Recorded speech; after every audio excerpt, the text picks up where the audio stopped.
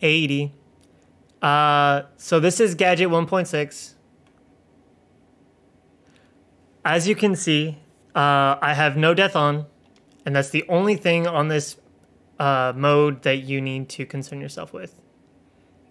You literally get slapped around with 1 HP forever. You just can't die. So that's cool.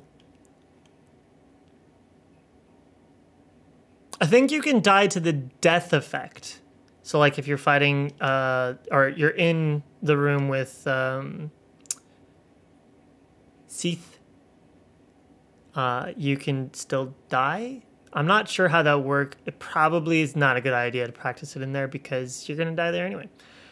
Um, anyway, so 1.6, unzip. If the app doesn't show itself, you do shift right click, maximize, shift shift right click maximize. It'll do this. Because for me when i clicked on it it was spawned or it, it turned on off screen and i couldn't get it to pull up.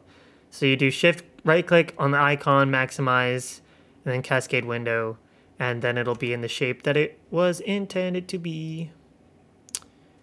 So that's that. Uh, player you can save and store your positions. So like i'm going to store my position there i'm going to move around over here. And then I'm going to restore my position. That's really helpful if you're trying to do running segments. So you don't have to do um, quick saves or say, uh, save states. You just zip back.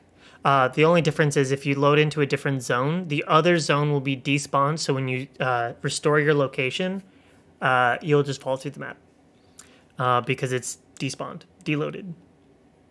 So there's that. You can uh, do a bunch of other things. You can spawn in all the items you want, um, including souls. Like literally any item in the game you can just spawn in at any infusion, upgrade, and quantity. Obviously, if the weapon doesn't upgrade, you can upgrade it. Even if you have it 99, it's still going to say normal.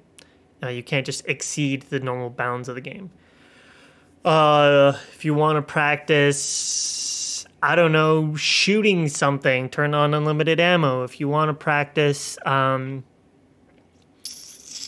in, if you want to practice parrying, I recommend turning on no damage, no hit, and infinite poise. I guess it doesn't really matter if you're not getting hit, right? So no damage and no hit. So you just parry, parry, parry. If you miss, you miss. It doesn't parry. So you could just sit there practicing parries forever and ever and ever. No consequence. No death, no damage, no hit. Redundant, but it works. Um, you can also make it so that you're sitting there fighting the boss forever by saying no death, no hit, no damage uh, for the enemies. Uh, you can also turn off the AI, disable AI, no attacking. So they're just sitting there. They're there, but they're not like T posing. Whereas T posing would be the disabled enemies, right? Or no movement. They're like trying to get to you, but they're just standing in place. I don't know why you'd want to turn that on. Um, for your intent to practice, I recommend turning on your deathless, no death, and their no damage uh, for the bosses.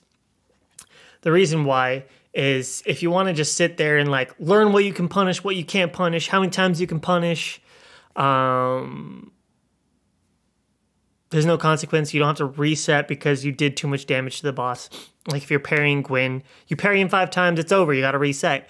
But if you turn on no damage, you could just parry, riposte, parry, riposte, parry, riposte, parry, riposte. Find what works for you uh, without having to reset all the time, which is the whole point of this tool. It's a practice tool.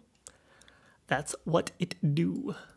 Um, I recommend you don't do anything else. You could do uh, um, hotkeys. So, like, restoring position might be really nice, or toggling no death might be really nice. Um, but you don't really need to do that unless, unless, now hear me out. You want to do quit to menu. Quit to menu is really, really nice because you're running, you're running, you're running, you're practicing, you're doing great. You turned off the no death, you turned off the no hit, you're running, you're running, you're falling off the ledge. And you don't have a save uh, store location. You're falling off the ledge. Hit that hotkey to just zip out. You're done. You're back in the main menu. GG. And now you're not falling anymore. You're not taking that fall damage. I'm going to say that this is the uh, pause. So now I go back into the game and I hit pause. Boom. Back to the main menu. I'm outside of the boss fight. That's how you do it.